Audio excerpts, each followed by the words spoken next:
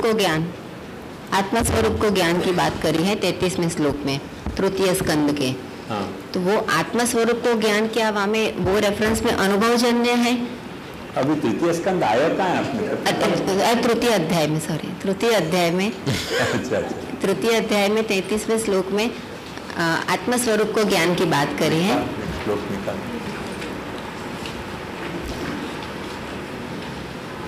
और सिद्धांत मुक्तावली में बताया हुआ है जैसे स्वस्वरूप ज्ञान है यहाँ में और यहाँ में क्या डिफरेंस है?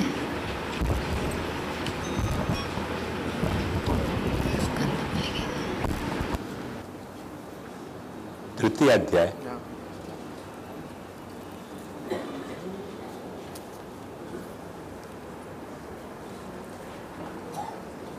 ये तो तेरहवा अध्याय है।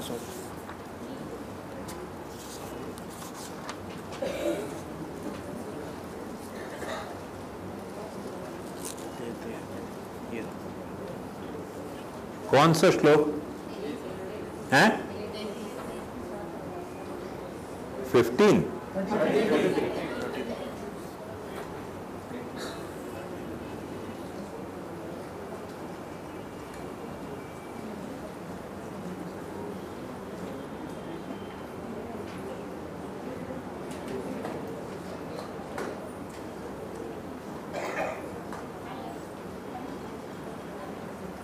ये जो आत्मा को ज्ञान है ना,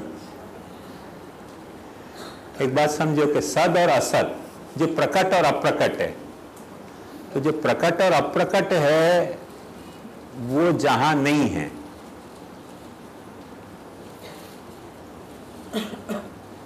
जहाँ वो अविद्या के कारण भाषित हो रहे है, वो आत्मा का स्वरूप है। तो या तरीके का जो आत्मा का स्वरूप है, वो शुरू हो अपने यहाँ से पर जावे ब्रह्म तक है, तद ब्रह्म दर्शनम। अपने में मिनी स्केल में है वहाँ में मैक्सी स्केल में है।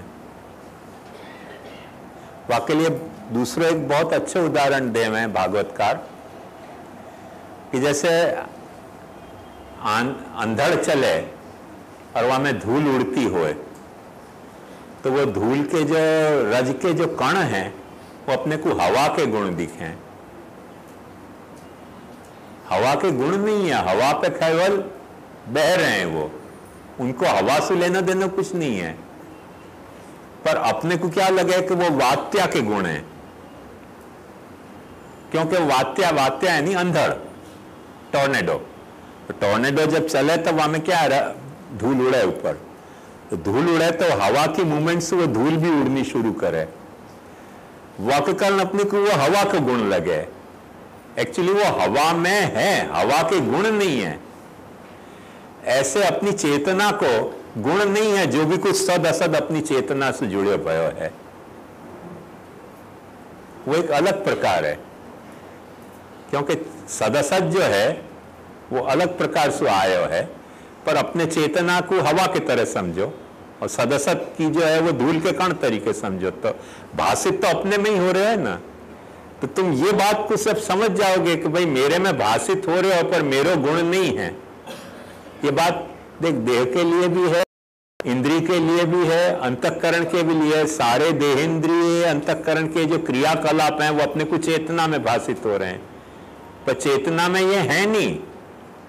हैं ये देहेंद्रीय अंतकरण के क्रियाकलाप, देहेंद्रीय अंतकरण नाम के पदार्थ में। तो वो क्योंकि आत्मा में अपने को भाषित हो रहे हैं करके उनके गुण भी अपने को आत्मा में भाषित हो रहे हैं।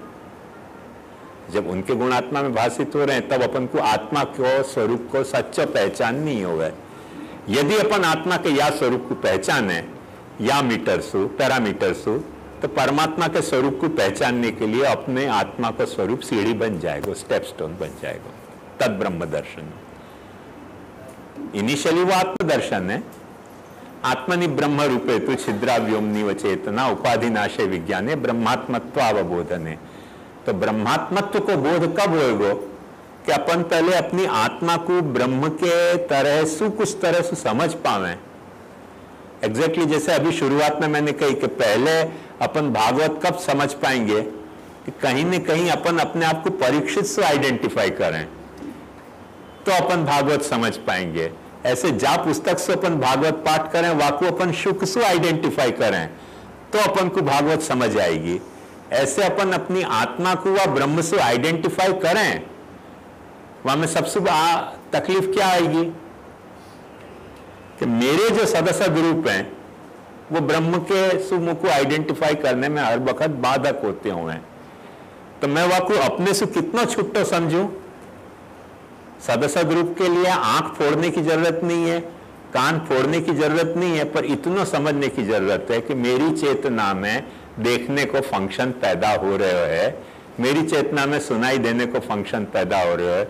मेरी चेतना में काम, क्रोध, लोभ, मोह, मत्सर के फ़ंक्शन पैदा हो रहे हैं। मेरी चेतना में भूख को फ़ंक्शन पैदा हो रहे है। भूख एक्चुअली चेतना को नहीं लगी है, भूख लगे पेट को। पर चेतना में वो भूख दिखलाई दे है। मेरी चेतना में मुझको याद आती, भाई, कोई चीज़ दिखलाई दे। मेरी चेतना में मुझको कोई चीज़ भुलाती भाई दिखे है। वो चीज़ चेतना में ना याद आ रही है, ना भुला रही है। वो तो मेरी बुद्धि में याद आ रही है और भुला रही है। पर क्योंकि वो बुद्धि मेरी चेतना से जुड़ी हुई है, करके मुझको वो चेतना में वो गुण दिखाई दे रहे है। ऐसे मेरे सदस्य जितने भी रूप हैं, उनको जब मैं मेरे नहीं समझ के, मेरे मैं समझू तो बात प्रॉब्लम सॉल्व हो जाए। मेरे समझ लो और मेरे मैं लो। बहुत अंतर है। मेरे में जैसे मलेरिया के वायरस के जर्म्स हो सकें, कैंसर के वायरस हो सकें, पर कोई कबूल करेगा कि मेरे हैं? क्यों नहीं कबूल करे? अपन जाने अच्छी तरह से कि मेरे मैं है, पर मेरे नहीं है। ऐसे अपन अपनी चेतना में जो सदस्य ग्रुप है, उनको मेरे में है माने, मेरे नहीं माने तो आधी प्रॉब्लम सॉल्व हो गई। और अपने को स्ट्रॉन्ग आइडेंटिफिकेशन ऐसे हो जाए कि अपने को लगे कि नहीं, मेरे ही हैं। जब मेरे हैं, तब फिर अपन अपने को ब्रह्म से आइडेंटिफाई नहीं कर सके। क्योंकि जो कुछ मेरे मुँह को लग रहे हैं, वो तो आड़े ही आ रहे हैं ना, ब्रह्म से मुँह को आइडेंटिफाई करने में। बस ये बात। तो मेरे मैं समझना और मेरे समझना, या को सूक्ष्म अंतर? ध्यान दोगे ना तो सारी बात स्पष्ट हो जाएगी।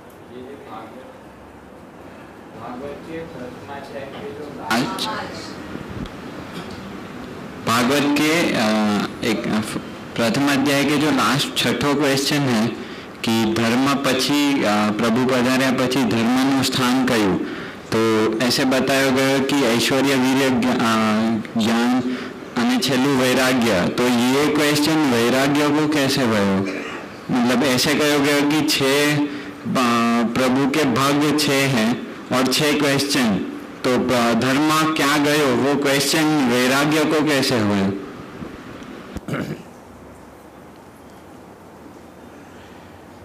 क्योंकि एक बात समझो कि धर्म में सबसे आड़े तुमको अनुराग आवे है।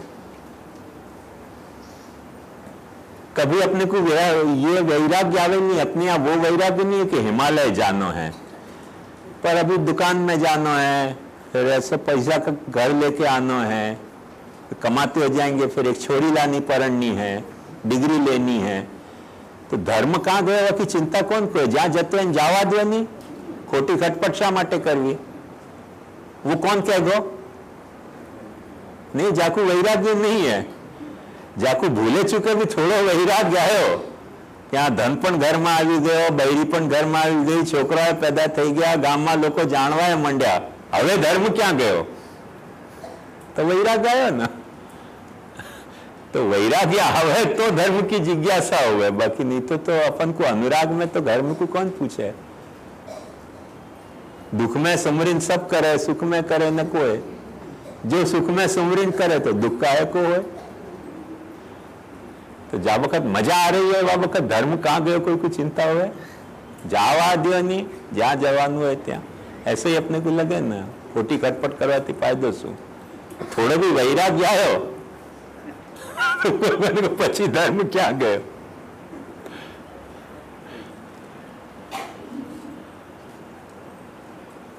ये मंगलाचरण ये भागवतार प्रकरण में श्री कृष्ण परमानंद युत में प्रकाश में कृष्ण शब्द से वो परम वस्तु उच्चते ऐसे करे जो सामान्य या अर्थ ले कृषि बहुवाचक वो अर्थ नहीं लेके परम वस्तु ले रहे तो आचार्य किरण को आशय क्योंकि यहां परमानंद सु कृष्ण को अर्थ तो बता ही दे रहे हैं। तो वहाँ जो शब्द है, वसु वही परमानंद को परमानंद रूप नहीं कह के परम वस्तु के रूप में कह रहे हैं। क्योंकि वो परमानंद ही परम वस्तु है। कृष्ण बराबर परमानंद। अब कृष्ण के बाद परमानंद अर्थ कर दियो, तब आनंद के रूप में अर्थ करने की तो ज़रूरत रही नहीं ना कृष्ण की। तो अब वह को आनंद के रूप में नहीं अर्थ करके परम वस्तु के रूप में अर्थ कर रहे हैं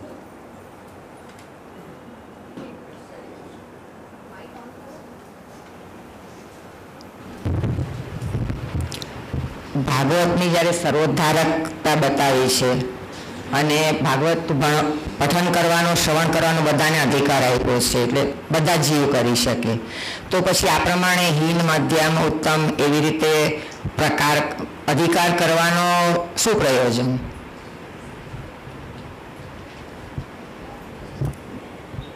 બહુ સારો ક્વેશ્ચન છે.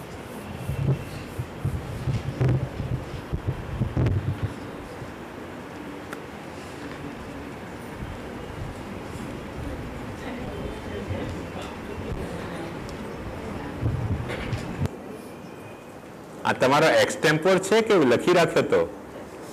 એક્સટેમ્પોર છે બધાઈ કોંગ્રેચ્યુલેશન.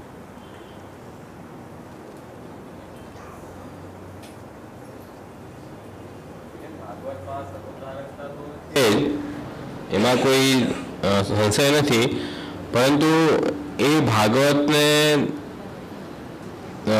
માણી કોણ શકે? કેટલું સારી રીતે?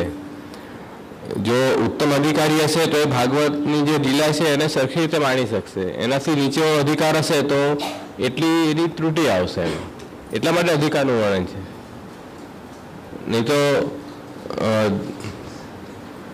જેમ કે હમણાં કાકાજી ઉદાહરણ આપ્યું હતું કે એડમિશન લેવું હોય કોલેજમાં તો ત્યાં પણ અધિકારની ચર્ચા થાય છે. એ કોને એડમિશન આપવું, કોને ન આપવું. તો કોલેજ સ્કૂલ તો બધા જ માટે છે. બધાને શિક્ષણ મળે એના માટે છે. परंतु हमें ये देखना है कि कौन वाको अच्छी रिश्तु बेनिफिट ले पा रहा है? तो वा, वा ये, ये वो संदर्भ में तो अपन को अधिकार को विवेचन करना ही आवश्यक है। भागवत के अधिकार की है। તો अपन તો અહીંયા મહાપ્રભુ આજ્ઞા કરે હર કોઈ જીવ ગમે તે જાતિનું કે ગમે તેવું ગુણ જ્ઞાન હોય તો પણ શ્રી ભાગવતનું શ્રવણ કરવાની ઈચ્છા વાળું હોય તો તે અધિકારી છે શું કહ્યું? તો भागवत के भागवत के अधिकार की बात है यहाँ भक्ति के अधिकार की बात नहीं है जो भक्ति में अग्रसर हुई हुआ तो भागवत के श्रवण से तो हर कोई को अधिकार है આપી રહ્યા છે તો પછીથી તે શાને માટે પ્રકાર બતાવવાની જરૂર પડી. એક બાજુ કહે છે કે બધા જ એના અધિકારી છે જે હમણાં જેમ કીધું યોગેશ બાબાશ્રીએ કે ભાઈ જે લીલાને માણી શકે તો એ પ્રમાણે. પણ બધા જ તો એ રીતે માણી શકે એવા નથી હોતા ને. મહાપ્રભુજીનો ખુલાસો કરી રહ્યા છે કે હર કોઈ જીવ ગમે તે જાતિનો હોય. હા. ગમે તેવો ગુણ હોય. હવે એના અધિકાર તો ગયા ને પણ શ્રી ભાગવતનું શ્રવણ કરવાની ઈચ્છા વાળો હોય તો તે અધિકારી છે. અહીં અધિકારની નથી થતી. મને એવું લાગે છે આમાં કે તમે જે પ્રશ્ન પૂછી રહ્યા છો ને, એમાં જ તમારા પ્રશ્નનો સમાધાન રહેલો છે. તમે એમ કહી રહ્યા છો કે બધા જ જો અધિકારી હોય, તો અધિકારી ભેદ કરવાની જરૂરત શું? અધિકારી ભેદ કર્યો એ જ આ વાતનું પ્રમાણ છે કે બધા અધિકારી છે? જે નહીં તો અધિકારી ભેદ કરે જ શા માટે? જો બધા અધિકારી ન હોય, તો અધિકારનો ભેદ શા માટે કરે? અનધિકારનો ભેદ કરે ને. અહીંયા શેનો ભેદ કરી રહ્યા છે? અધિકારનો ભેદ. એટલે ચાહે ઉત્તમ કક્ષાનો હોય, ચાહે હીન કક્ષાનો હોય, કે ચાહે મધ્યમ કક્ષાનો હોય, બધા જ અધિકારી છે. એ જ વાત તો સમજાવી રહ્યા છે. હવે ઉત્તમ શા માટે ઉત્તમ છે તે સમજાવી રહ્યા છે. મધ્યમ શા માટે મધ્યમ છે એ સમજાવી રહ્યા છે. હીન શા માટે હીન છે તે સમજાવે છે. પણ અધિકાર તો બધા જ છે. એટલે તો ઉત્તમ મધ્યમ આવ્યો. જો ઉત્તમ મધ્યમ અધિકાર ના હોત તો બધા અધિકારી છે જ નહીં. ઉત્તમ જ અધિકારી હોય. તો તમારે જે પ્રશ્ન પૂછી રહ્યા છો એમાં જ તમે સમાધાન આપી રહ્યા છો કે ઉત્તમ મધ્યમ એવો અધિકાર ભેટ શા માટે? એટલા માટે કે બધા જ અધિકારી છે. જે બધા અધિકારી નહીં તો એવો અધિકાર ભેદ થાય કેવી રીતે? એક જ અધિકાર રહી જાત ને. આવ્યું ને ખ્યાલમાં એટલે તમારા પ્રશ્નમાં જ સમાધાન બોલી રહ્યો છે હા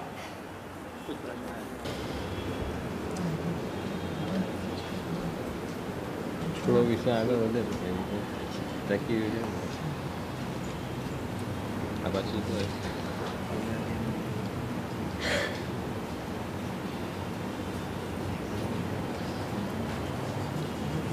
हैं क्योंकि मैं कुछ अपने मन से बताऊं शायद महाप्रभु जी को अभिप्रेत अर्थ हो कि नहीं तो याद रखियो, कल पूछ लीजिए अपन यहाँ, हैं? प्रश्न ये है कि तम सर्वभूत हृदय मुनि मानतोस्मी तो सर्वभूत हृदय मुनि कैसे हैं सुखदेव जी? तो महाप्रभु जी क्या अर्थ कर रहे हैं, वो पहले अपने को देख लेना चाहिए। क्योंकि अपन ने या या सत्र में शास्त्र स्कंध प्रकरण और अध्याय तक ही अपने आप को सीमित रखे है।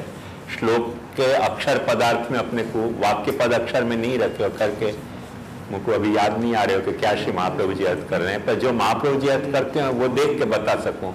सुबोध नहीं होती तो अभी भी देख के अपन निश्चय कर सकते कल देख लेंगे। हाँ अध्याय के अर्थ के बारे में एक प्रश्न आया है। हाँ। कि क्योंकि मूल अपन ये जो है ना ये जो अध्यायार्थ और स्कंधार्थ और प्रकरणार्थ है ना इनको अपन यहाँ चिंतन कर रहे हैं। हाँ पूछिए हाँ नहीं नहीं। मैं समझ गया पर, पर यहाँ अभी अपने पास मटेरियल हाजिर नहीं है ना। तो महाप्रभु जी ने क्या अर्थ किया? वो अपन देख के कहें तो सच्ची बात ना अपन मन से कुछ भी अर्थ कर दें तो कर सकें। वो श्री महाप्रभु जी को अभिप्रेत अर्थ होना चाहिए ना वासु विपरीत नहीं होना चाहिए। यहाँ ये प्रश्न है कि मध्यम अधिकार प्रकरण में वेद व्यास जी श्रोता है। तो वहाँ भगवत कृपा भगवदीयत्व और भगवत एकाग्रता ये तीन गुण बताए। हाँ। तो वो वेद व्यास जी में कैसे प्रकट भय ऐसे प्रश्न।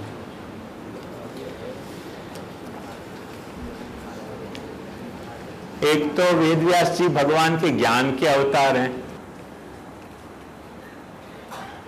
और ज्ञानावतार होने के कारण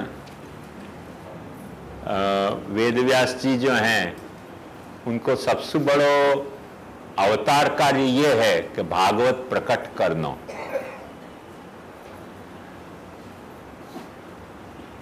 एक बात ध्यान से समझो बाबा कि ज़रूरी नहीं है कि रसोई बनाने वालों रसोई को स्वाद अच्छा जानते हो अच्छी रसोई बनाने वालों। कवि करोति काव्यानी स्वादन जाना थी पंडित, कवि तो कविता करना जाने, स्वाद तो वाको जो सुनने वालों है वो जाने। तो उनने सारो शास्त्र प्रकट कियो है સારો શાસ્ત્ર પ્રકટ કિયો હે પર તો સર્વાત્મ ભાવ ન ઉપજ્યો તાતે કરીને सेवा तो ज्ञानावतार हैं वो रसोई बनाने वाले अच्छे हैं पर स्वाद तो वह को शुकी ले पाए ना ये लिए सुखदेव जी के क्वालिफिकेशन में ये बात बताई गई है कि उनको द्वैत को ज्ञान है जब सुखदेव जी दौड़े तब पीछे पीछे व्यास जी दौड़े सुखदेव जी जवान हैं और निर्वस्त्र हैं, पर लड़की को शर्म नहीं आई। व्यास जी बेचारे बुढ़े हैं, कपड़ा पहने हुए हैं, पर लड़कियाँ शर्मा गई। अब सुखदेव जी को खोजने जा रहे हैं, अचानक उनको ये चिंता हो गई कि लड़कियाँ सुखदेव से नहीं शर्माई और मोसू क्यों शर्माई? तो पाछे उनको थोड़ी देर सुखदेव जी को भूल गए खोजना। और उनको पूछे, भाई, ये क्या चक्कर है कि वो जवान लड़का नंगो गया, वासु तुम शर्मा ही नहीं और मोसू शर्मा गई? तुमने कही कि तुम्हें स्त्री पुम स्त्री और पुरुष की भेद दृष्टि हमको दिखी। वो लड़की को बराबर दिखे, हो, कि अपन कैसे उनको देख रहे हैं? अपन को नहीं दिखते हुए लड़की को ये बात बराबर दिखती हुए कि अपन उनको कैसे देख रहे हैं? तो स्त्री पुम बुधा न तो सुतस्य विविक्त दृष्टि। सुखदेव जी की दृष्टि में उनको वो भेद नहीं दिखो कि स्त्री या पुरुष दो भिन्न प्राणी हैं। उनको एक ही प्राणी देखे तो उनको शर्म भी नहीं आई। और ये बेचारे कपड़ा पहरे हुए थे, बूढ़े होते और सुखदेव जी को पीछे जा रहे थे, फिर भी उनको ये भी पाछो आश्चर्य हो गया कि भाई, वो जवान लड़का गया, तुमने कपड़ा, शर्म नहीं यार, मैं बूढ़ो। मुँह को देख के शर्म आ रही है, लफड़ा क्या है? तो भाई यही भेद दिखे, यही तो लफड़ा है ना। तो उनको भेद दृष्टि है, ज्ञानावतार होते के बावजूद भी।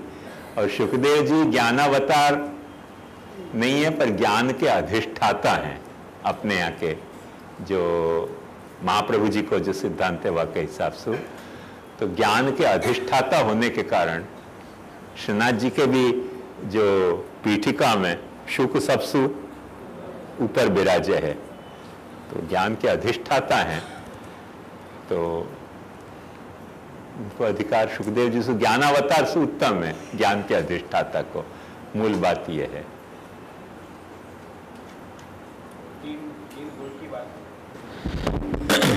भगवत कृपा भगवदीयत्व भगवत एकाग्रता। हाँ। वो तो तीन तो भगवत कृपा तो है ही ना सुखदेव जी पर नहीं नहीं वे- वेद व्यास जी पे। हाँ वेद व्यास जी तो भगवत कृपा तो है ही ना। और भगवदीयता है। भगवान के ज्ञान अवतार है वहाँ। है। पर भगवत एकाग्रता नहीं है करके वेद दृष्टि है। वो हमें बताइए है। वो कौन सी कथा वाली एकाग्रता है जो हाँ। भेद दृष्टि वाली एकाग्रता है? भगवान पे वो अभेद दृष्टि वाली एकाग्रता नहीं है जो सुखदेव जी को है। उनको अभेद दृष्टि है। माने वो स्त्री पुरुष को भिन्न देखते भय भी। स्त्री की भिन्नता और पुरुष की भिन्नता सुखदेव जी को दिखाई नहीं दे है। और व्यास जी को दिखाई दे है। तो वो एकाग्रता जो है ना, वो कैसी एकाग्रता है? भेद दृष्टि रहित एकाग्रता है। और ये जो एकाग्रता है वो वो कैसी एकाग्रता है? भेद दृष्टि रहित एकाग्रता नहीं है। भेद दृष्टि सहित एकाग्रता है। तो जब भेद दृष्टि सहित एकाग्रता है तो फ़र्क पड़ेगा ही ना। एक ध्यान से बात समझो। अपन कोई गीत गुनगुना रहे हो। वहाँ में जो अपनी एकाग्रता होवे ना, वो एकाग्रता। और गीत जब अपन गुनगुना नहीं रहे, कोई को गा के सुनानो है तब भी वही गीत हो गए पर थोड़ी सी इतना भेद आया ना कि गा के मुझको सुनानो है, वह वक्त नर्वसनेस फील करो। जब गुनगुनानो है, वह वक्त की, अरे बेसुरो निकलतो है, सुर निकलते है, कोई सुनते है, मत सुनते है जब गीत गुनगुनानो है ना गला पहले कहीं भी जाते हो आड़ो टेढ़ो वहाँ में जो गीत में एकाग्रता है ना वो जब अपन को इतना सो भेद आया ना कि या को सुना ना है गीत वो उतनी सी अवेयरनेस के कारण गीत में एकाग्रता अपनी थोड़ी फ़र्क तो पड़ा ही है ना। बस इतना फ़र्क है। वहाँ अपन ज्ञानावतार हैं और वहाँ ज्ञान के अधिष्ठाता हो जाए जब। गीत गाता है और वहाँ गीत के अधिष्ठाता में, जब अपन गुनगुना रहे हैं। कोई सुनते है तो क्या फ़र्क पड़े? कोई नहीं सुनते है तो क्या फ़र्क पड़े? गुनगुना रहे हैं। जब गा के सुनाना है आपको तो अक्सर बेसुर ही निकले। गाते, गुनगुनाते हैं तो नहीं भी जो सुर निकलते हैं ना, गला सुर, वो भी जब गा के सुनाना है तो सुर यहाँ वहाँ भाग जाए, हो। कबूतर की तरह उड़ जाए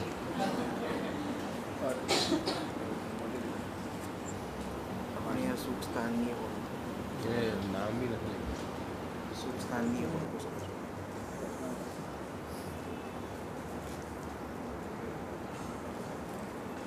यहाँ यहाँ मन है?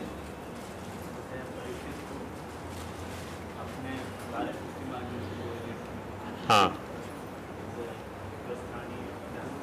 श्री भागवत को ग्रंथ, साक्षात सुख स्थानीय है। शुक मुखाद अमृत द्रव संयतम पिबत भागवतम रसमालयम। तो सुख मुख सुया में अमृत द्रव आ ही गयो है तो जो अमृत द्रव आ गयो है या में तो अपने लिए तो यही सुख हो गया ना। अब वो सुख कहाँ अपने को मिलेगा? एक बड़ी मज़ेदार बात बताऊँ। अब है कि नहीं पता नहीं, पर मैं जब इंदौर गयो इंदौर गयो तो इंदौर वाले देवकी नंदन बाबा जो हैं, उनको चिड़ियान को बहुत प्रेम है। बहुत सारी चिड़िया उनके यहाँ सच्ची भी हैं। पर चिड़ियान की आवाज़ उनने टेप रिकॉर्ड करके रखी है और वो उनके घर में बजती रहे। बजती रहे, अपने को ऐसे ही लगे कि सब चिड़िया कंस्टेंटली बोल रही हैं। तो अपन को लगा कि वो कितना चिड़िया को पार्लियामेंट यहाँ जमी हुई है। पर एक्चुअली वो टेप रिकॉर्ड बज रही थी वह दिन में देखे। तो क्योंकि आखो वातावरण वैसे ही रहे। वाके कारण क्या हो चिड़िया भी पची एक्साइट हो जाए। पता नहीं वो उनको क्या मतलब निकलते हो वो। कुछ ऐसा मतलब नहीं तुम क्यों नहीं बोल रहे हो, तुम भी बोलो।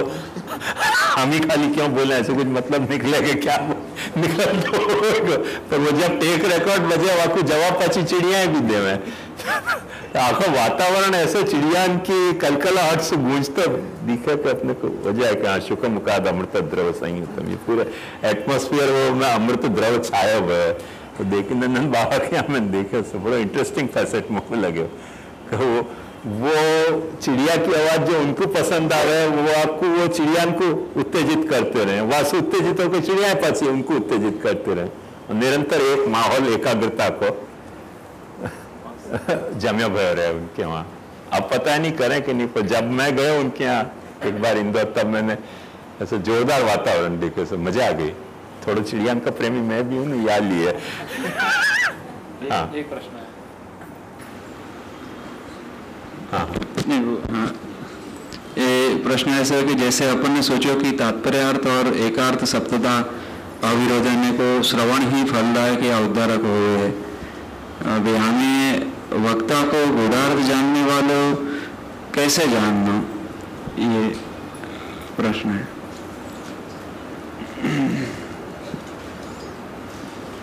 अब या में तो देखो, ऐसी बात है।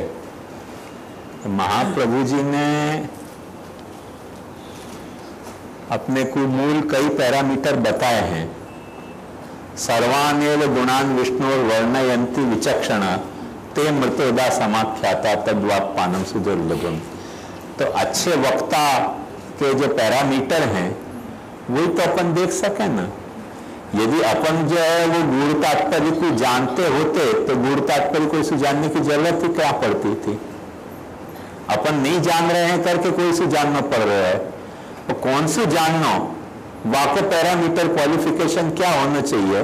तो महाप्रभु जी ने जलभेदादि ग्रंथ में बताया है, और यहाँ भी बताया है। तो या पैरामीटर पर जो बैठते हो फिट, वो गुण तात्पर्य जानते हो ऐसे ही तो करके अपन चलेंगे ना।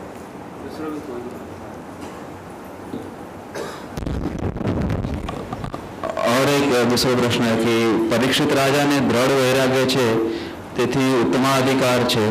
તો વૈરાગ્યનો વ્યાસ અને નારદજીમાં, તો વૈરાગ્ય તો વ્યાસ અને નારદજીમાં પણ છે. છતાં મધ્યમાધિકાર ગણાયો છે. તો બંને વૈરાગ્યમાં ફરક છે? ક્વેશ્ચન માર્ક ખાલી. ફરક તો છે જ ને.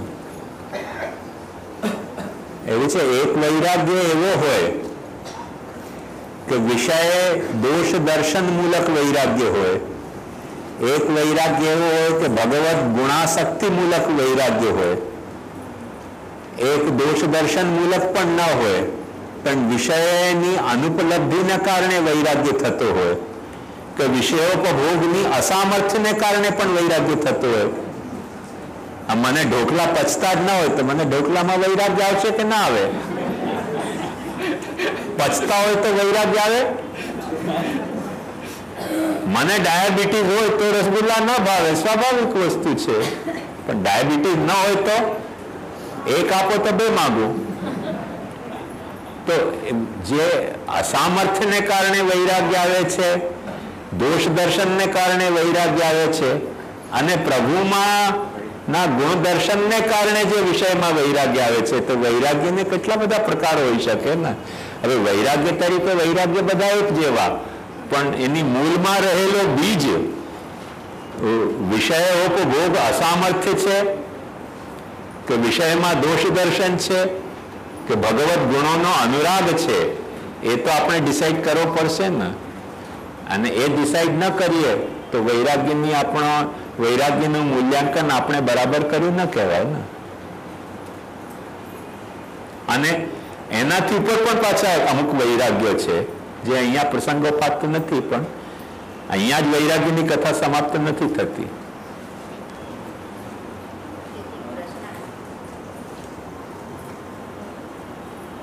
शौन्य काद्य खिलेष्टद पुरुषोत्तम शास्त्र के नाम में ए नाम में भक्ति योग से संपन्नत्वात् तत्प्रद इत्यर्थ श्री रघुनाथ जी ऐसी आज्ञा कर रहे हैं शौन्य काद्य खिलेष्टद नाम में तो अ, पुरुषोत्तम शास्त्र में बताए भाई नाम में वो आज्ञा कर रहे हैं और भागवतार्थ में शौनक सूत जी को ऐसे भक्ति को फल नहीं मिल रहे है। तो यहाँ में कॉन्ट्राडिक्शन थोड़ा आ रहे है। क्या? सौम्यकाद्य अखिलेष्टद नाम है। यहाँ में श्री रघुनाथ जी भक्ति योग से संपन्नत्वात् तत्प्रद इत्यर्थ ऐसी आज्ञा कर रहे हैं। और यहाँ में भागवतार्थ में शौनक और सुत जी को भक्ति को फल नहीं मिल रहे हैं। ऐसी बात कर रहे हैं तो यहाँ में थोड़ा कॉन्ट्राडिक्शन आ रहे है।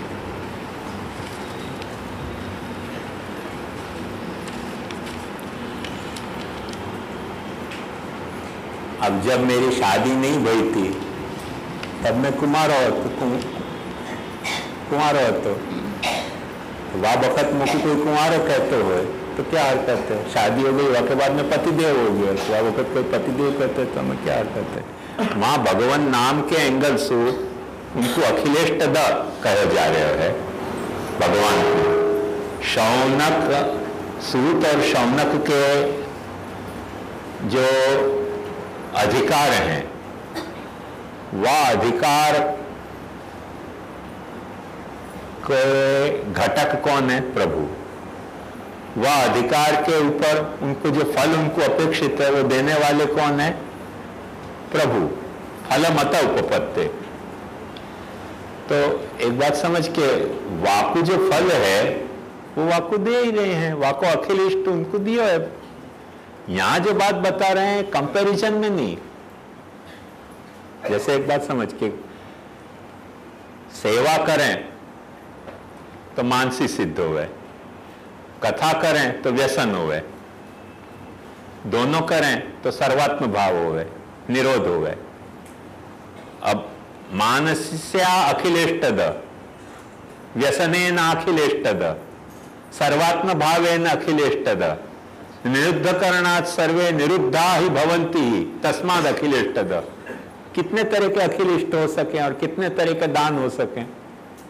तो जा वक्त जाकू जा तरीके को इष्ट को अखिलता है। खिल को मतलब समझे कि नहीं? खिल यानी कोई चीज़ को रेसिड्यूअल। अखिल माने जा में कुछ भी बच नहीं जातो हो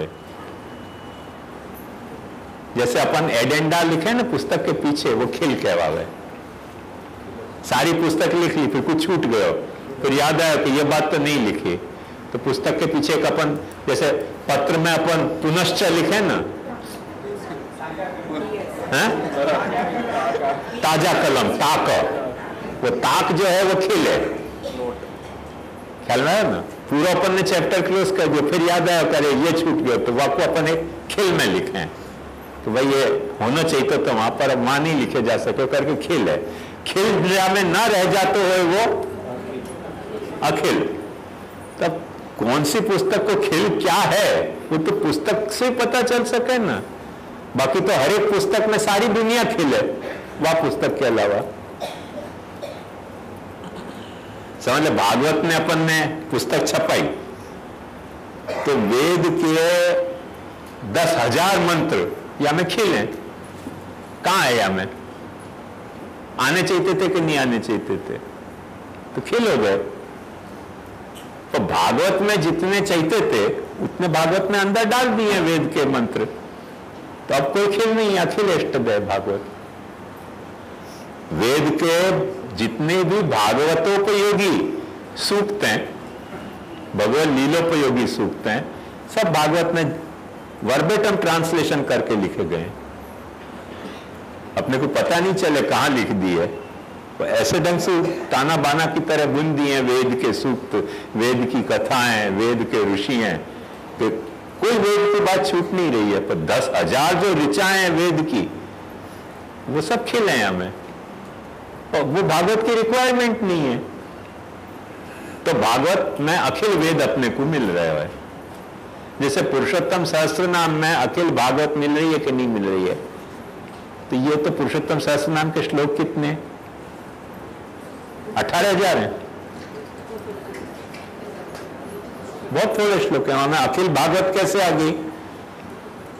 पर भाई, उनको जितनी बात लेनी है भागवत की वो अब या पुरुषोत्तम शास्त्र नाम में खिल नहीं रह गई। अखिल है अखिल भागवत गई। या तरह से। तो जितना शौनक, सूत सूत शौनक को जो कुछ देना है भक्ति को, वो अखिल वहाँ है। यहाँ वो बात नहीं कह रहे हैं। यहाँ तो कंपैरिजन में बता रहे हैं कि उत्तम मध्यम अधिकार के हिसाब से उत्तमाधिकारी कौन है, मध्यमाधिकारी कौन है और हीनाधिकारी कौन है। तो वहाँ अखिलता नहीं आ रही है। वहाँ अखिलता रह जा रही है। क्योंकि मध्यम अभी बाकी रह गया हो उत्तम और बाकी रह गया। हो पर जो उनको खिल अखिल है हमें तो खिल है अखिल है ना। ऐसे। शौनक जी की तो वो तो कर्मिष्ठ ब्राह्म ऋषि होते हैं ना। यज्ञ यागादि करे वाले तो भाई उनको जितना चाहिए है वो उतनी तो मिले ना उनको। हाँ वही मतलब वो कर्मानुभूत भक्ति वही ना वो सिद्ध कराई ना। तो वही। ऐसा कॉन्ट्राडिक्शन कैसे है नहीं है यस्य स्मृत्या च नामोक्त्या। तपो क्रियादेश। तपश्राद्ध क्रियादिशु न्यूनम संपूर्णता जाती सद्य वंदोतम अच्युतम अब आपको श्राद्ध करना है नमस्कार करना है भगवान को। अरे बाप को श्राद्ध करने भगवान को काय को नमस्कार करना बाप को नमस्कार नहीं करना। तो कर्म में थोड़ी सी अपने को खिल बाकी बच जाए कि भाई अपन ने बाप को तो श्राद्ध किया पर भगवान को नमस्कार तो किया नहीं। तो बाप को श्राद्ध करके भगवान का नमस्कार बाकी रह गया। करके यस्य स्मृत्या च नामोक्त्या तपो श्राद्ध क्रिया दिशु न्यूनम संपूर्णता में आती सद्य वंदितम अच्युतम अखिल कर दे को तो किया तो बाप को श्राद्ध पर भगवान को नमस्कार को कोई प्रसंग नहीं आया अपने को फील होता है कि हमें बाप को श्राद्ध में भगवान को नमस्कार रह गए तो वो खिल लग रहे हो, खिल लग गए तो तुरंत नमस्कार कर दिया जाए। विष्णवे नमः विष्णवे नमः विष्णु नमः, चलो छुट्टी हो गई। तो खिल क्या है, अखिल क्या है? वो तो अपन क्या कर रहे हैं वहाँ पे? वो कोई बाप के शादी नहीं किए जाए ऐसे? नहीं, शादी करें वहाँ वक्त भी। कोई भी जनोई बदले तो वहाँ में तो स्पष्ट ऐसे कह रहे हैं कैसे ब्रह्म तेज नूतन यज्ञ पवित्र धारण हम करिष्य। ब्रह्म तेज मेरे में बढ़ा या लिया नूतन यज्ञ पवित्र धारण करो। अब अचानक याद आया कि ब्रह्म तेज की समृद्धि के लिए नूतन यज्ञ पवित्र धारण करने में भगवान को नमस्कार करना भूल गए। तो खिल लगे भगवान को नमस्कार। खिल लगे तो अपन क्या कहें? ऐसे स्मृत्याचना मुक्त्या तपो यज्ञ क्रिया दिशु न्यूनम संपूर्णता में आती सद्य वंदित। खिल लगे करके नमस्कार कर दियो, अखिल हो गयो। छूट क्या गए है मिस क्या कर रहे हो तुम? कोई बात करने में क्या मिस कर रहे हो? वापे वाकई अखिलता है ना? जो मिस कर रहे हो, वहाँ सप्लाई हो गए एक बात सीधी सी समझे, ये तो अपन वैष्णव है या लिए। यस्य से नामोक्त्या तपो यज्ञ क्रिया दिशु न्यूनम संपूर्णता याति। सद्यो वंदे तम शंकरम। क्यों नहीं कह सके कोई शंकर को भक्त ऐसे थोड़ी है कि कोई अचित को वंदन करो तो संपूर्ण कर्म सांगता हो। शंकर का यदि तुम भक्त। हो तो यसे स्मृता में होता, शंकर को खिल लगेगा तुमको। वही शंकर को वंदन करना भूल गए। जैसे गणपति जी के वहाँ में आवे ना कि जब उनको कही गई कोई पृथ्वी की परिक्रमा करके आओ, उनने कही कि शिव जी और पार्वती में सारी पृथ्वी समाई गई है तीन परिक्रमा शिव जी की करी, जीत गए। अखिल परिक्रमा हो गई मेरी। वो बेचारे घूमने के लिए आखिर पृथ्वी परिक्रमा करने गए, वहाँ में हार गए। उनने अपने माँ बाप की परिक्रमा करी उनकी खत्म, आखिर पृथ्वी की परिक्रमा हो गई। अब आज भी देखो, अपन ने भागवत को पारायण किया। तो भागवत की प्रदक्षिणा एक एक जनों करते जगह कहाँ आती? तो अपन ने क्या किया? आत्म प्रदक्षिणा कर ली। अपने को अखिल हो गई ना। नहीं तो तो खिल रह जाती कि भाई प्रदक्षिणा तो करी नहीं भागवत की। पर भागवत की जैसे प्रदक्षिणा है, वो भागवत के चारों ओर घूम के हो सके, ऐसे आत्म प्रदक्षिणाएँ भी तो हो सके कि नहीं?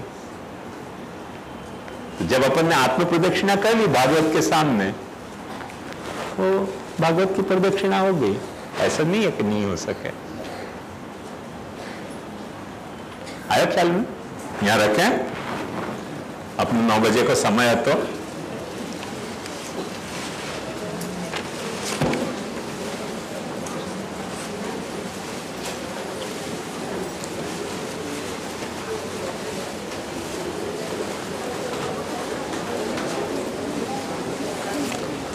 दृढ़ चरण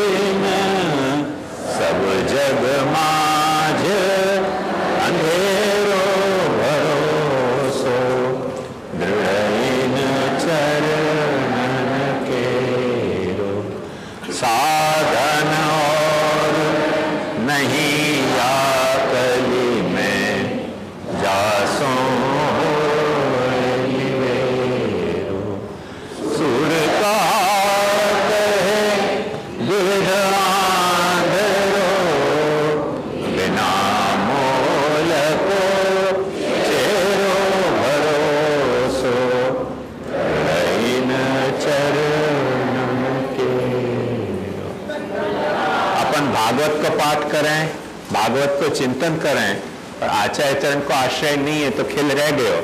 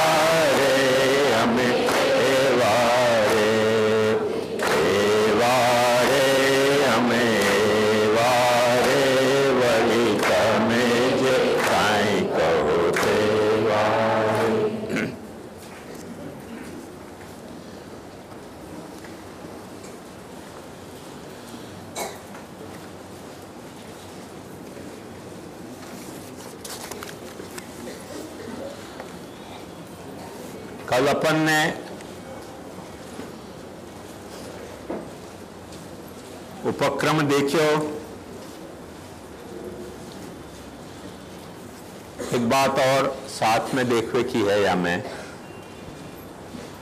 क्योंकि पता नहीं जो सबको ये मिला है कि नहीं मिले है कि खाली पार्टिसिपेट कोई मिला है सबको मिल गया। आज मिल गया सबको।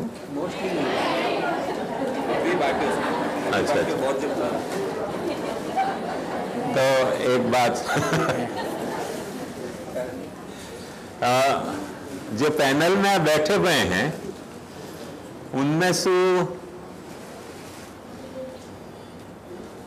ये जो कम से कम मैं समझूं कि प्रथम स्कंध के मध्यमाधिकार तक अपने को क्या विषय है या को अ, क्योंकि जिनको आज ये मिले है वो उनको पढ़ने को टाइम नहीं मिले होगा और पढ़ने को टाइम भी मिले होगा तो उतने फास्ट उतना ग्रास्प होना मुश्किल है। तो थोड़ा कोई पैनल में से जो भी समराइज करते हुए कर दे, जासू की एक इंट्रोडक्शन बन जाए वा को और वा के बाद फिर अपन जो भी कुछ प्रश्नोत्तर हैं वो करें तो थोड़ी स्वाभाविक प्रक्रिया होगी मुझको लग रहा है। नक्की करो कौन करेगा। जाने भी पड़े हो पहले से पढ़ रखे हाँ।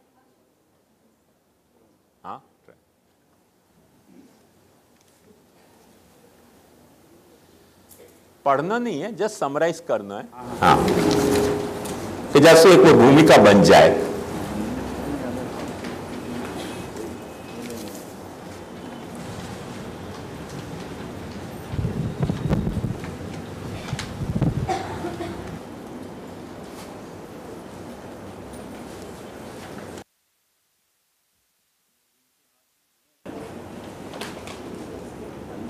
इनके हाथ में आया है और हमने शुरुआत में तो उपक्रम में भागवत के अनुसार कौन अधिकारी है और भागवत सुनने को और वाके लिए साधन क्या है?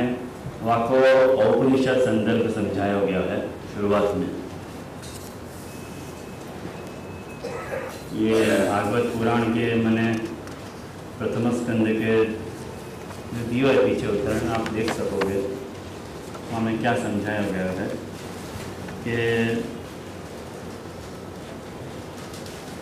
कौन सा श्रेष्ठ धर्म है कि जाके कारण अधोक्षर भगवान के बारे में फलन की कामना सुरहित अहितु की ऐसी भक्ति सिद्ध हो पाए। वाको सारा प्रयोजन उपक्रम में समझाया गया है। और यदि ऐसी भक्ति को अपने को सिद्ध करना है तो श्रवण कीर्तन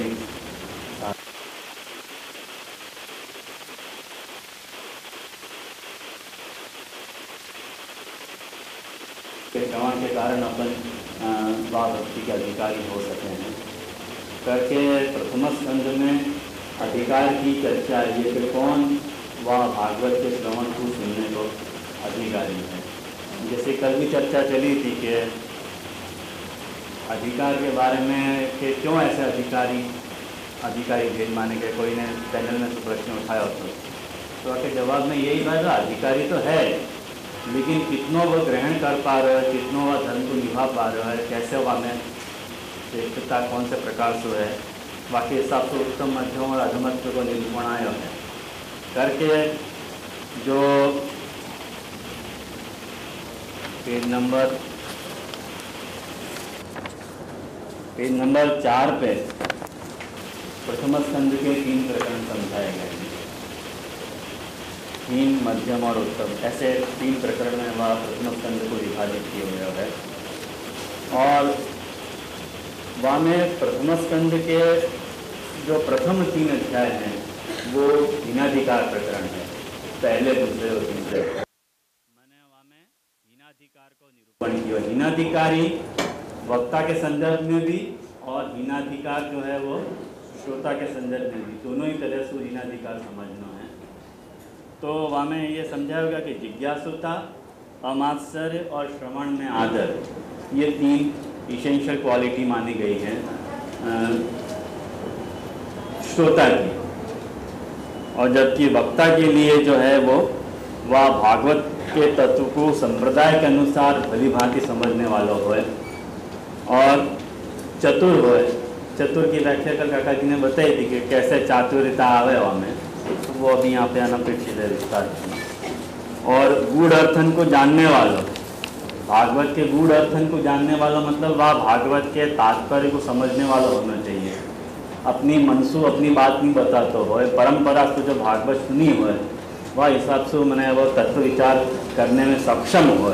ऐसा वहाँ वक्ता अपेक्षित है। ये मैं ऐसे सोच रहा हूँ बाकी आप सब लोग मिलके ही विषय को सोचोगे। ऐसे बताई गई है बात। अपन को मध्यमाधिकारी तक ही समझना है ना? हाँ मध्यमाधिकारी तक वास्तु ज़्यादा तो हो नहीं सकेगा कल फिर उत्तम अधिकारी ले लेंगे। हाँ। एक दिन अपने आप में प्रथम स्कंद के लिए। तो प्रथमाध्याय में जो प्रश्न पूछे गए जो प्रश्न पूछे गए वह प्रश्न पूछे गए होने के कारण वह श्रोता के जिज्ञासु होने के गुण वह अध्याय में आया। कि भाई भाई जिज्ञासुता है। वह सुनो चार्य और भागवत। बाकी बाद दूसरे अध्याय में जो है, कर्म और ज्ञान के बारे में, भगवत अवतार का प्रयोजन और लीला के बारे में यदि वो प्रश्न कर रहे हैं, भगवत लीला के बारे में यदि वो प्रश्न कर रहे हैं तो आपको अमाश्चर्य में द्योतित हो रहा मास्टर की भी कल चर्चा आई थी, लेकिन ये चर्चा कल मुझको थोड़ा स्पष्ट नहीं हुआ था आज, जाके ऊपर थोड़ा कैसे मतलब भगवत अवतार और प्रयोजन के बारे में प्रश्न किए गए उन्हें सुश्रोता के भीतर मास्टर कैसे नहीं है, ये स्पष्ट नहीं हो पाया। और साथ ही साथ ये जो जिज्ञासा वाक्य मन में उठ रही है, वो वक्ता वाक्य वाक्य उत्तर दे पा रहे तो वाक्य चातुर्य को निरूपण दूसरे अध्याय में आया है। और जो तीसरा अध्याय है, हिनाधिकार को वहाँ में भगवान के अवतार को निरूपण आया है।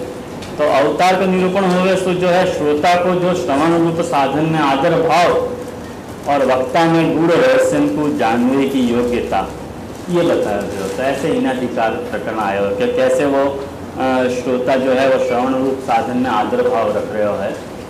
और आदर भाव रख रहे हो तो सामने वक्ता भी वह गुरु रहस्य को जानते हुए होना चाहिए तो तो वह की जिज्ञासा को शांत कर पाएगा। करके वहाँ वक्ता को वो गुण आ रहे है। ऐसे श्रोता और वक्ता के दोनों के हीन और प्राथमिक अधिकार को द्योतन यहाँ प्रथम स्कंद के प्रथम तीन अध्याय में भयो है।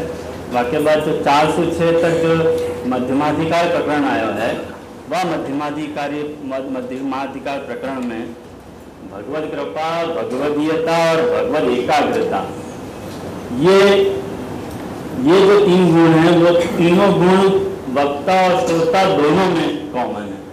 वहाँ में कोई जैसे हीनाधिकारी प्रकरण में वक्ता और श्रोता के अलग अलग गुणों का निरूपण किए गए हो तो ऐसे यहाँ पे वहाँ तरह से निरूपण नहीं किए गए दोनों के लिए कॉमन गुण माने गए हैं।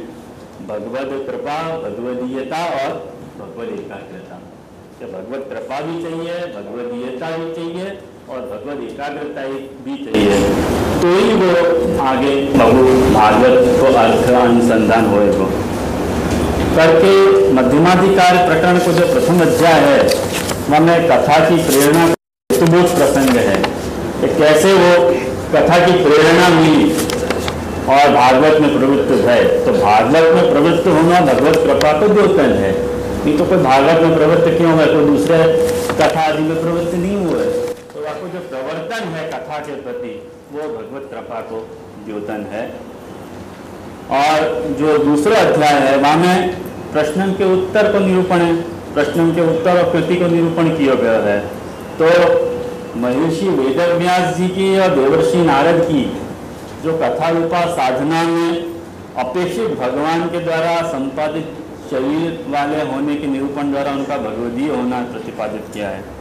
तो उनकी भगवदीयता प्रकट हो है कि भाई वाह में वाह में वो लोग प्रश्नोत्तर कर पा रहे हैं। वो हिसाब की चर्चा है।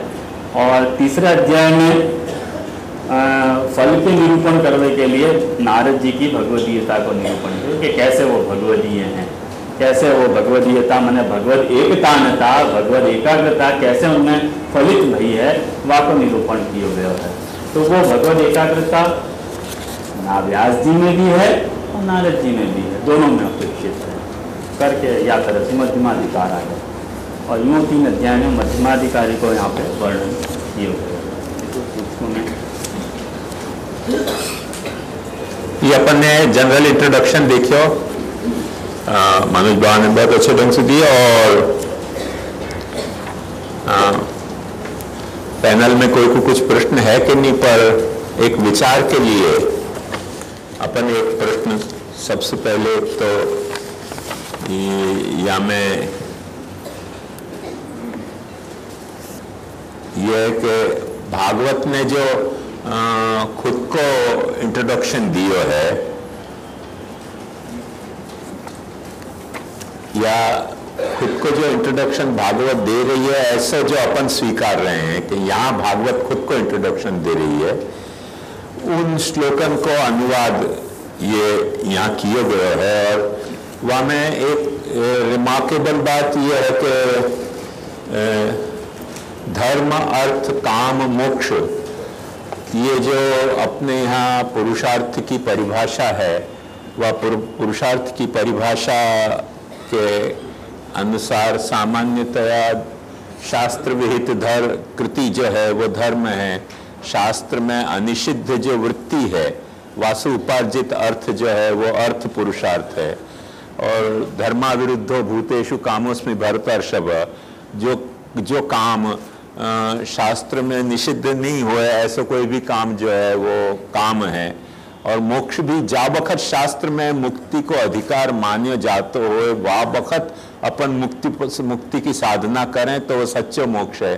और जा परिस्थिति में जा अधिकारी के लिए मुक्ति की साधना अ, शास्त्र में बतलाई नहीं गई है। वो अधिकारी व्यर्थ में मुक्ति की साधना करे या मुक्त होना चाहे तो अनधिकार के दूषण से वो मुक्ति नहीं होके साधना मोक्ष पुरुषार्थ नहीं होके कोई न कोई बंध पुरुषार्थ है। या तरीके को एक जनरल कंसेप्ट अपन यो कह सकें कि भागवत से पहले को है। भागवत में पहली बार एक नयो पर्सपेक्टिव या धर्मार्थ काम मोक्ष में या श्लोक में बतायो। और धर्मार्थ काम मोक्ष के जो आ, मुख्य स्वरूप है वो। असल में बात यह है कि अपने यहाँ मनुष्य को अपन रैशनल एनिमल या सोशल एनिमल तरीके नहीं जाने हैं। बाकी कारण मीमांसा में अपन नहीं पढ़ेंगे, पर अपने यहाँ मनुष्य को अपन एक ऐसा प्राणी के जाकू धर्मार्थ काम मोक्ष को मैनेज जो अपने धर्मार्थ काम मोक्ष को मैनेज कर सकते हो, अच्छी तरह से, वह प्राणी को मनुष्य कहा जाए। तो अपनी जो मनुष्य के होने की धारणा है, वो धर्मार्थ काम मोक्ष चार पुरुषार्थन के मैनेजमेंट की धारणा है।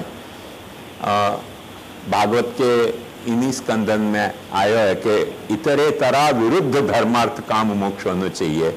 माने धर्म विरुद्ध अर्थ नहीं, अर्थ विरुद्ध काम नहीं, काम विरुद्ध मोक्ष नहीं, मोक्ष विरुद्ध धर्म नहीं। ये तरह, इतरे तरह विरोध से ये चार पुरुषार्थ सिद्ध होने चाहिए। इन्हें वे ये बात पहले भागवत के पहले भी कही गई है। नहीं कही गई ऐसी बात नहीं, मनुस्मृति आदि ग्रंथन में भी ये बात याज्ञवल के आदि में भी ये बात अच्छे तरह से समझाई है, और भी पुराणन में समझाई गई है। मगर भागवत वास्तु एक कदम और आगे जाके कुछ बात बतावे है धर्म के बारे में। कि धर्म को जो इतरे तरह विरोध इन चार पुरुषार्थन में जैसे धर्म को होना चाहिए साइमल्टेनियसली वो धर्म धर्म नहीं है कि जो अपने को परमात्मा के, माने जैसे वहाँ कहा कि भगवान में अनुराग नहीं प्रकट कर सकते हो, भगवत कथा में रति उत्पन्न नहीं कर सकते हो, भगवत कथा में, भगवत गुणन में अपने को रति नहीं जगा पाते हुए, ऐसो धर्म कहीं न कहीं है तो कोई हीन कक्षा को धर्म है। शास्त्र विहित है तो हीन कक्षा को धर्म है। पर उत्तम धर्म तो वही है कि जो अपन धर्म करें और अपने को भगवान में रति प्रकट हुए ऐसे ही अर्थ पुरुषार्थ के लिए भी यही बात कही कि अर्थ अपनो जो याप सेटअप में जो अर्थ है, वो अर्थ अर्थ के लिए नहीं है पुरुषार्थ, पर अर्थ पुरुषार्थ या धर्म के लिए होना चाहिए। भागवत के बहुत सुंदर श्लोक हैं, नार्थोर्थायोपकल्पते। ऐसे ही कामस्य नेन्द्रिय प्रीति, काम को जो पुरुषार्थ की जो सिद्धि है, वो केवल अपने इंद्रियन की प्रीति तक कन्फाइंड नहीं होना चाहिए, पर वासु आगे उठ के वाको कुछ होना चाहिए। और जो मोक्ष पुरुषार्थ है वाके बारे में जाके भागवत ने फिर से एक ज़बरदस्त खुलासा कर दियो कि मोक्ष पुरुषार्थ सिर्फ़ अपने आत्म स्वरूप के ज्ञान हो सके, निम्न कक्षा को, अधम कक्षा को पुरुषार्थ वो भी हो सके। अपन इनकार नहीं करेंगे कि निम्न कक्षा को पुरुषार्थ नहीं है, पर वो भागवत मोक्ष को जो कंसेप्ट है वाके बारे में बिल्कुल एक बात स्पष्ट भागवत कर दे रही है कि जहाँ आत्मा के स्वरूप को ज्ञान केवल मोक्ष नहीं है, पर अपनो जीवात्मा और परमात्मा के तादात्म्य को ज्ञान जो मूलक मोक्ष है वो सच्चो मोक्ष है और यही है वहां ये बात बताई कि ગુજરાતી में भी आप देखोगे ना तो પ્રયોજન કેમ કે પોતે જીવનનું પણ પ્રયોજન કેવલ જીવનના પોતાના સ્વરૂપના જ્ઞાનમાં પરિસીમિત કરી શકાતું નથી તત્વવેદતાઓ મુજબ પરમ તત્વ તે અદ્વય જ્ઞાન હોય છે જેને બ્રહ્મ પરમાત્માને ભગવાન કહેવામાં આવે છે तो ये अपन देख सकें कि अपने आत्मा के भीतर विद्यमान ऐसी आत्मा के रूप में जो निरखते हुए वह आत्मा के ज्ञान से जो हो तो मोक्ष है वो मोक्ष सच्चो मोक्ष है तो जब अपन परमात्मा को भीतर निरख रहे हैं तो वह परमात्मा के श्रवण कीर्तन और मनन की लिए ये भागवत शास्त्र प्रवृत्त हो रही है। ये या को आखो, भागवत को खुद के द्वारा, खुद को प्रयोजन या तरह से बताया गया है। अब इन प्रयोजन को देखते भाई एक बात या में स्पष्ट हो रही है कि भागवत मूल में धर्मार्थ, काम, मोक्ष सु मनुष्य की परिभाषा को स्वीकार के तो चल रही है, पर धर्म और अर्थ काम मोक्ष को स्वरूप भी कुछ भगवत गुणाशक्ति में पर्यवसित होने वालों, भगवत भक्ति में पर्यवसित होने वालों कोई पुरुषार्थ को रूप मान रही है। मैंने धर्मार्थ काम मोक्ष को अपन एक स्वस्तिक बनावे तो वाक्य बाहर एक सर्कल अपने को भक्ति को खींचना चाहिए, कि भक्ति के सर्कल में ये चारों पुरुषार्थ एक दूसरे से अविरोधी होने चाहिए। इनमें जो खंड है वो अच्छा नहीं है। या के तहत जो प्रथमाधिकार मध्यमाधिकार और उत्तमाधिकार भागवत के श्रोता वक्तान क्या है यह भक्ति कहते हैं। या प्रकार की जो भक्ति जो धर्मार्थ काम मोक्ष को अपने भीतर इनकॉर्पोरेट करके चल रही है वह भक्ति की कथा को ओ, कहने को वह भक्ति को जगाने की कथा कहने को, वह भक्ति को जगाने की कथा सुनने को, कौन उत्तम अधिकारी है, कौन मध्यम अधिकारी है, और कौन प्रथम अधिकारी है, तीन अधिकारी है। तो या में विचारणीय मुद्दा, या में, आप लोग सोचोगे तो लगेगा कि अपने को लग रहा हो कि जिज्ञासुता, अमात्सर्य और श्रवणादर, ये प्रथमाधिकार मानने में आए। वाकई कॉरेस्पॉन्डिंग में वक्ता को भागवत तत्व के को भागवत के तत्व को संप्रदाय के अनुसार बराबर जानना, ये अध्याय में ही बताया है कि मैंने कौन कौन से परंपरा से ये कथा सुनी है और वो अपनी संप्रदाय से सुनी हुई कथा को अपने पाठ किए होगे तो आपने भी ये पारायण में देखे होगे कि वो सब अपनी अपनी परंपरा बता रहे हैं कि भाई मैंने ये कथा वासु सुनी। हर वक्त जब भी कोई कथा कह रहे हो तो वो कथा की अपनी वो ऑथेंटिसिटी बता रहे हो कि मन में आ रहे वो कथा नहीं, कि कोई बापा कही गया था, ने बापी कही गया था, ऐसे नहीं। वो ऑथेंटिसिटी बताने के लिए वो संप्रदाय की परंपरा बता रहे हो कि वाने यासु सुनी, वाने यासु सुनी और मैंने उनसे सुनी। वाह, तरह से ये कथा कह रहे हूँ। तो संप्रदाय से जानना चतुर और गुड़ के बारे में कुछ मनोज भाव के भी प्रश्न हैं। पर एक प्रश्न ये भी या पैदा हो रहा है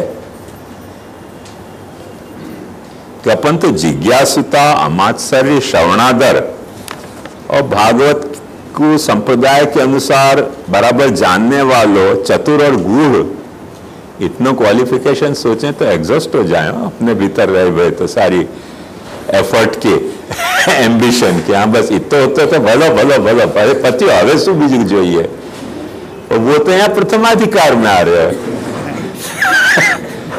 मध्यमाधिकार तो फिर वाके बाद बता नहीं उत्तम अधिकार में कौन जाने क्या और लफड़ा हो जाएँगे। तो ये जो बात जो प्रथमाधिकार में आती हो और ये प्रथमाधिकार की बात पाची यद्यपि यहाँ प्रथमाधिकार मानिए, पर अपन सोचें तो अपने को दुर्लभ लग रही है। और दुर्लभ लग लग रही है, और यदि कोई में या तरीके को प्रथमाधिकार सुनने को और बोलने को है तो अपन ऐसे कैसे मान लेंगे कि वक्त भगवत कृपा नहीं है? सो मध्यमाधिकार में भगवत कृपा अलग से आई। ये एक प्रश्न पता नहीं आप लोगों को कोई को भयो कि नहीं, पर एक यहाँ में प्रश्न विचारणी ज़रूर लगे है कि भाई ये मध्यम कक्षा में, प्रथमाधिकारी ऐसे दुर्लभ अधिकार लग रहे हो जो बिना भगवत कृपा के तो हर एक में तो संभव है नहीं। तो मध्यमाधिकार में पाछे भगवत कृपा अलग कैसे आ गई? कि यहाँ भगवत कृपा बिना मैंने यहाँ कुछ अपने पुरुषार्थन से ये क्वालिटी या ये क्वालिफिकेशन एक्वायर किया जा सके और मध्यमाधिकार को क्वालिफिकेशन अपने पुरुषार्थ से संपादित नहीं हो सके। कुछ या तरीके को डिवीज़न है या कोई और या को है, वो अपने को थोड़ा विचारना चाहिए। ये तो एक विचार के लिए खाली। और जैसे भी जो प्रश्न आते हैं आपको विचार करें अपन। जाकुबी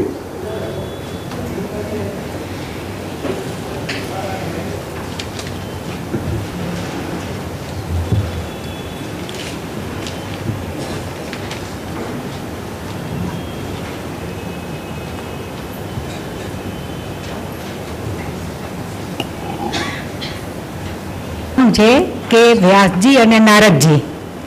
બંને, બંનેમાં ત્રણે ત્રણ ગુણ તો છે, ભગવદ ગીતા અને ભગવદ હતા વ્યાસજી બંને ભગવદ અવતાર બી છે. તો વ્યાસજીને આટલા શાસ્ત્રો રચ્યા છે, તો એમને બધી ખબર જ છે કે કેવળ બ્રહ્મ જ બધું થયું હશે. એ તો એમને, એમાં તો શંકા જ નથી.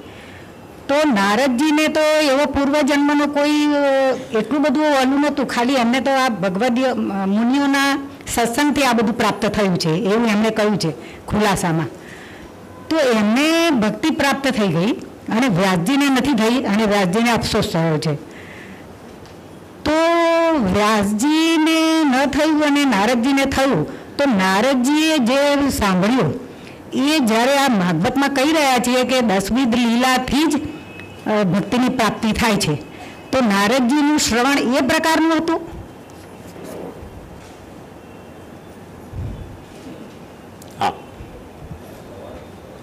ના સવાલ આપું સવાલ હા? હમણાં જે પ્રશ્ન થયો એનો જવાબ કોણ પ્રશ્ન કર્યો તો બાવાએ? મને નથી જ નથી. મારું તો ધ્યાન જ નથી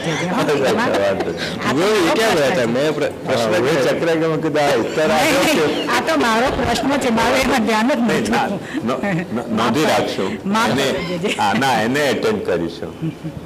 હા.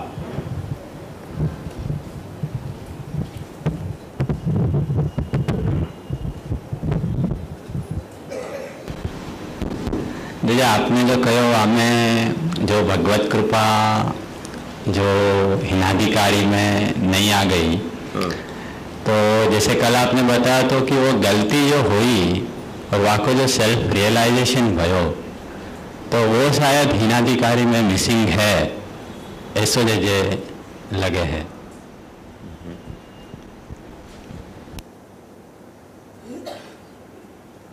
કોઈ પૂછી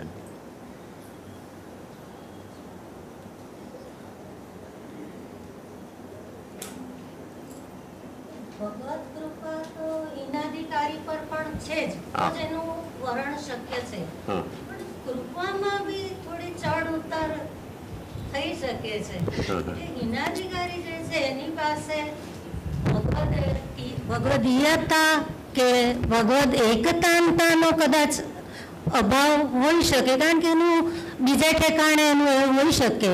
પણ જ્યારે એનું શ્રોતા તરીકે વરણ થયું છે એ અધિકાર એને પ્રાપ્ત થયો છે તો હિનમાં પણ તરતમ ભાવ જે છે એ એનો હોઈ શકે. અને એવું નથી કે તરમાંથી એ તમમાં ન જઈ શકે ભગવાન તો એના પર છે જ તો જ એ આવી શકે. અને દરેક વસ્તુમાં એક્સિડન્ટ્સમાં જેમ આપણે કહ્યું તો એમ ડાર્કનેસ હોય એમ આમાં પણ એવું હોઈ શકે કે વરણમાં પણ પ્રભુ બી ભેદ કરતા હોય બની શકે. એટલે કોઈ ગ્રે એરિયા એનામાં પણ છે. એનામાં કૃપા તો છે જ નહીં તો આવી જ ન और कोई कुछ कहना है? या मैं क्या कह रहे हैं? भगवत। हेलो प्लीज़ बता माइक में बोलना आग्रह रखो विनती से तुम। मध्यमाधिकार में भगवत कृपा को क्या कह रहे हैं? Hmm.